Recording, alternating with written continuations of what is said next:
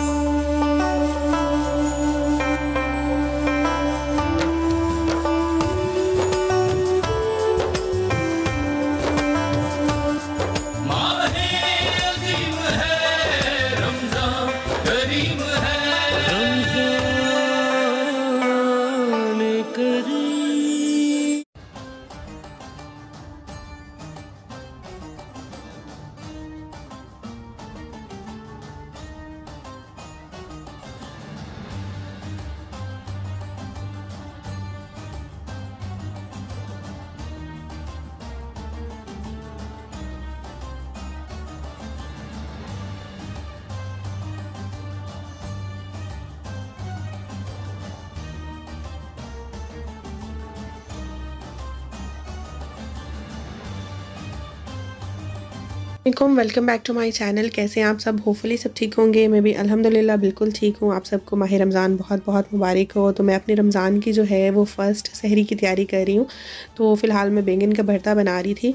और ये वाला जो बैंगन का भरता है, ये बहुत अच्छा लगता है पराठे के साथ और रोटी के साथ। मैं रमज़ान में जो है सहरी में मोस्टली जो है, वो रोटी ही खाती हूँ। पराठा बहुत कम खाती हूँ, क्योंकि फिर हैवी हो जाता है, क्योंकि नमाज़ पढ़ने के बाद कुरान मजीद और फ़ौरन से सो जाना होता है। तो इसलिए पराठा खा के सोना जो है, वो बहुत डेंजरस चीज़ है।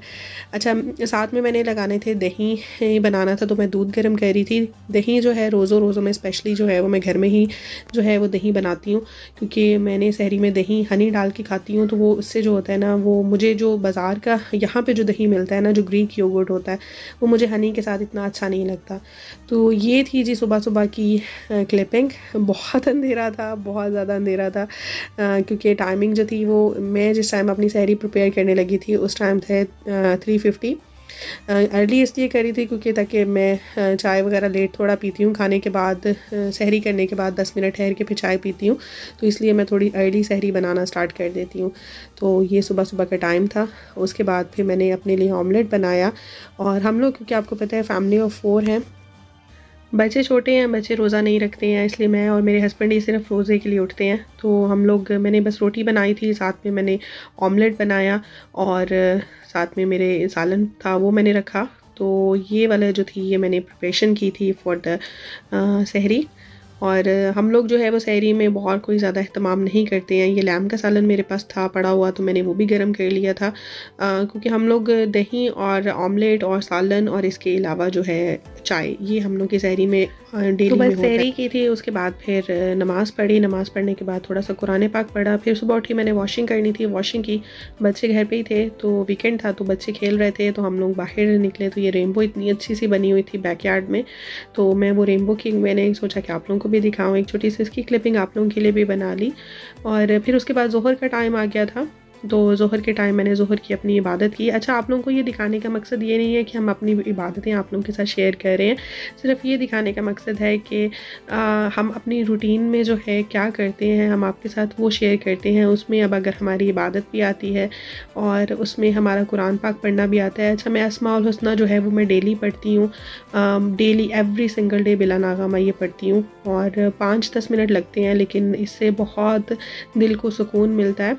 तो ये मैं ज़रूर पढ़ती हूँ। तो मैंने सोचा कि मैं आपके साथ दिखाऊँ। साथ में मैंने अपना कुरान पाक शुरू किया हुआ था। तो कुरान पाक जो है अपने स्पारे जो है, मैंने वो स्टार्ट किए हुए हैं और इंशाल्लाह मंडे से बच्चों का स्कूल स्टार्ट हो जाएगा तो फिर उस टाइम मेरे पास टाइम होगा तो मैं इंशाल्लाह अपना कुरान पाक जो है, वो और ज़्यादा दिल से सुबह मॉर्निंग में घंटा, डेढ़ घंटा लगा के मैं बैठती हूँ, और फिर मैं उस टाइम कुरान की दोहराई भी करती हूँ और पढ़ती भी हूँ। अच्छा और उसके बाद तो मैं लेडल आई थी, मुझे थोड़ी सी ग्रॉसरी चाहिए थी।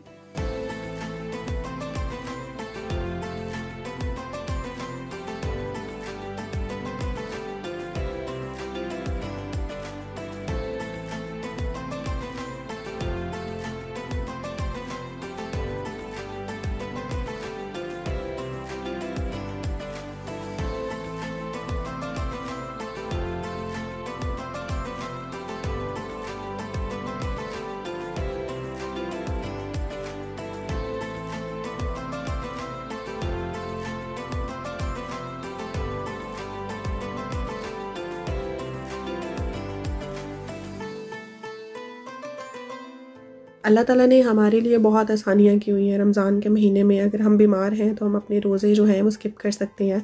अगर हमें डॉक्टर प्रिस्क्राइब कर, प्रिस्क्राइब करते हैं कि भाई आपने अपने रोज़े नहीं रखने हैं तो आप इस कंडीशन में अपने रोज़े छोड़ सकते हैं।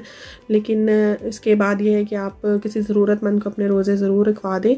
और दूसरी चीज़ अगर ये बात है कि अगर जैसे प्रेगनेंसी होती है तो प्रेगनेंसी में वुमेंस जो हैं वो अगर वीक फील कर रही हैं, उनको लगता है कि ड्यूरिंग रोज़ा रखने से जो है वो उनका और उनके बच्चे की जान को ख़तरा हो सकता है तो वो अपने रोज़े जो हैं वो स्किप कर सकती हैं, लेकिन उसकी माफ़ी नहीं है। फ़र्ज़ी रोज़े जो होते हैं, आपने उसको हर हाल में जो है वो कज़ा करके बाद में अदा करने होते हैं। तो अगर आप उसको जानबूझ के इग्नोर कर देंगी तो वो उसकी उतनी ही सज़ा है जितना आपने, अल्लाह ताला की नज़र में आपने वो रोज़े जानबूझ के छोड़े हैं, उसकी उसी उसी ज़िमरे में वो सज़ा आएगी। तो इसलिए अगर आप प्रेग्नेंट हैं तो आप जैसे ही अपनी डिलीवरी से फ्री होती हैं, आपका बच्चा सेटल हो जाता है तो उसके बाद आप अपने रोज़े को जो है वो कम पूरा करें, क्योंकि ये फ़र्ज़ी रोज़े हैं, इनकी माफ़ी नहीं है तो इसको आपको ज़रूर पूरा करना होता है।